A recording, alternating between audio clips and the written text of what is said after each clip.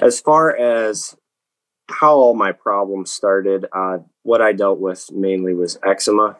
Um, that was pretty much eczema, allergies, asthma.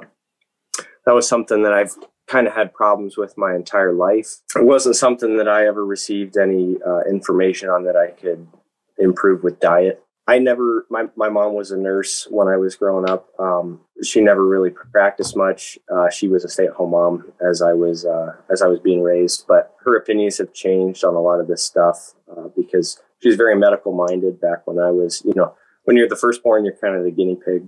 I, I had been diagnosed with asthma when I was about five years old and I pretty much had that my entire life, and pretty much just very high levels of allergies uh, that I had dealt with really again since I was about five years old, um, and they were very severe at times. Uh, my brother's got it even worse than I do. He's actually had a lung collapse on him. Um, mm. But I was I was kind of close to that when I was younger, but I've grown out of it a little bit. I still struggled with it as I was as I uh, got older.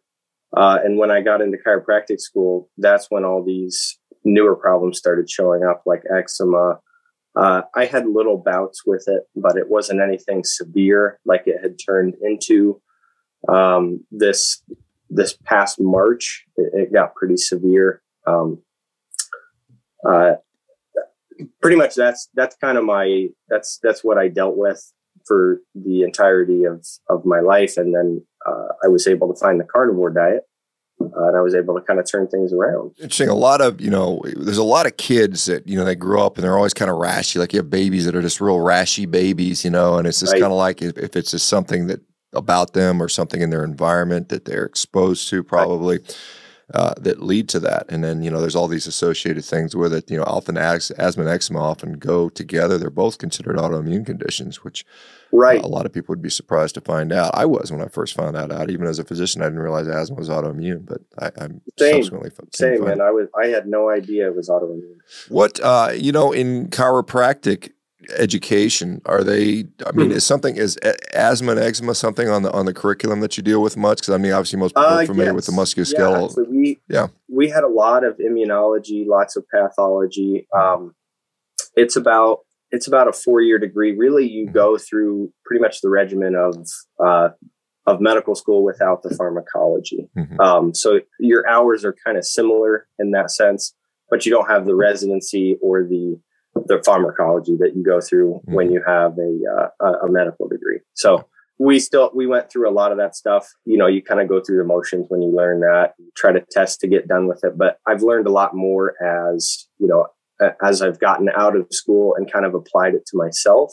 I, so through chiropractic school, I kind of found out if I fasted that my eczema would go away, and that was always a really good temporary a temporary fix. But it got to the point where I was so skinny and I almost looked malnourished mm-hmm. because I had fasted so much. My eczema was gone, but I felt like absolute garbage. So uh, that led to some pretty bad circulation problems down in my feet. I got to the point where my feet were just always cold. I mean, I lived, I had lived in Georgia for five years. It never got cold there, uh, or it, it hardly gets cold compared to Ohio. But my feet were always freezing. So I, and they were turning purple. So I, I, never knew, I never put that together as being like a circulation issue that I could fix uh, with diet. But after being on carnivore for, I think it was probably a month, maybe two months, I noticed like, man, I just feel really warm. My feet don't get cold like they did. They're not numb. Trying to think of some other stuff. There was like other abstract things that I noticed too. I never really had digestive problems but I did it mainly for the skin problems. So, I mean, are you familiar? I guess Life Chiropractic School. Were you familiar with that? That's is that where you went, or is that where? So there's two. There's two lives. Uh, there's one out in uh, California. Mm-hmm. Um, that's Life West, and then there's Life University down in Georgia.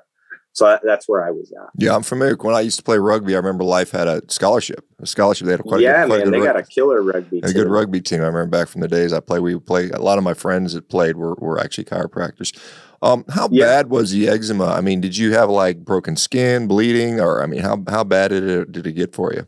I'll see if I can actually. So, am I able to pull a picture up on this? That was at its most severe. Yeah. Um, It that so I had found the carnivore diet, uh, like a lot of people through the kind of the Saladino method. I got to give him a little bit of credit, but this was after one month of doing that. It was not that bad, uh, and then I I think the fruit, the the fructose that I was taking in, and then the fiber as well. It was just it was feeding that bacterial overgrowth yeah. that I had going on. Yeah.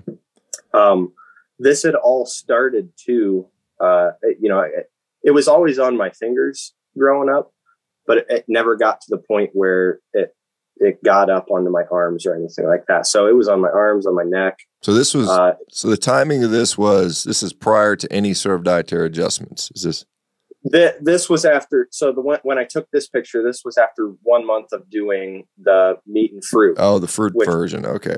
okay. Yes. Yeah. The the fruity version. Right. Uh, okay. And so I ended up. Uh, I ended up.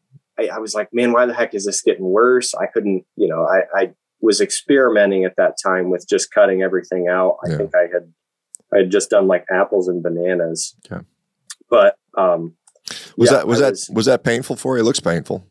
Yeah, I was at the point where I like I couldn't sleep at night. I had hypothyroid symptoms as well. Like I was just cold. I was shivering. Okay. Lost my libido. Like I just I didn't really want. I, I, was almost depressed, honestly. So, did you get any? I, did you get any benefits from going to the meat and fruit version? I mean, was there any? any no, no, no, no benefits. This, okay. this got worse after okay. I did that. Okay. So all of this started. I was trying to do a preemptive. Uh, this was off of a holistic cleanse that all of this actually started.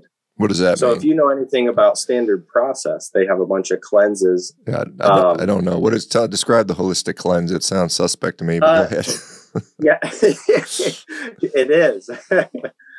um, so it's a uh, standard process is a big brand. Um, it's basically, it, unfortunately, the holistic medicine side of things is kind of taken a a turn into the big pharma method where you have a symptom, you need to take a supplement, and then once you take that supplement, that that's going to make it better. But I was probably on 10 different supplements at this time. I had done the cleanse for the full 21 days and it was basically like you're plant based for 10 days, then you throw in lean meats. They want you to eat like chicken. You're doing like these protein shakes along with like a hundred different supplements. So that really messed me up. So were you worse with so this is the worst you were though, but this is even worse. Yes. Okay. And then I then I tried to fix it with the meat fruit. Okay. And that made it even worse. Got it. So it okay. was just compounded on on itself. How much fruit were you eating? I mean, what was what was it looking like? Um I would say I'd eat probably two apples a day, maybe like three or four bananas. Okay. And then I found out I was horribly allergic to bananas. I don't know. It, it, was kind of a it was a wake up call for me as far as supplementation and being careful, like what to supplement people on. Okay. Because it's it's very uh, it's very implied in chiropractic school that you're supposed to supplement along with what you're doing in your care. But a lot of people have they can have bad reactions to the supplements that you're giving them.